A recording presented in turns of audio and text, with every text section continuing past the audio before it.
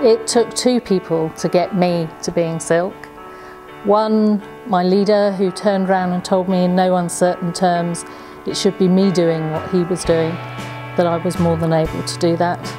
And someone else who bought me the patent black shoes and said, You're more than entitled to be wearing these, now fill in the form. Being told by someone you respect can give you the courage to step forward. I have a big family, and I think that wasn't always the best thing to do at the bar. It was very difficult early on, and the encouragement from other women really kept me going, especially when times were difficult.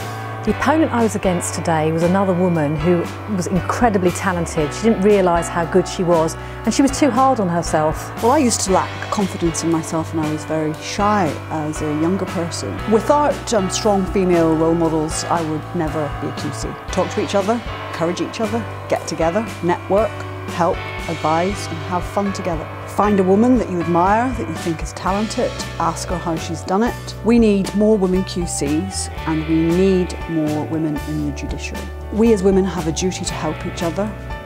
We don't have to like each other, we don't have to agree with each other, but we do, in my opinion, have a duty to encourage and help each other. Last year when I was chair of the Young Bar was really challenging. I couldn't have done that if I hadn't had some amazing women in my corner.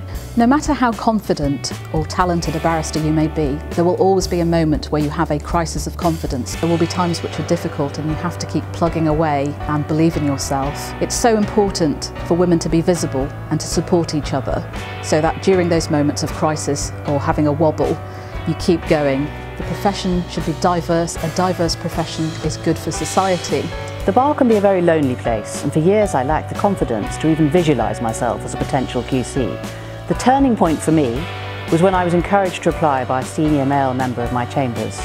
Making the application gave me the confidence I needed. We need more women to become silks because the profession and the public are missing out on an enormous amount of talent. If someone helped you, it's your turn to do the same. Pay it forward. Spot a talented woman and tell her to take the next step.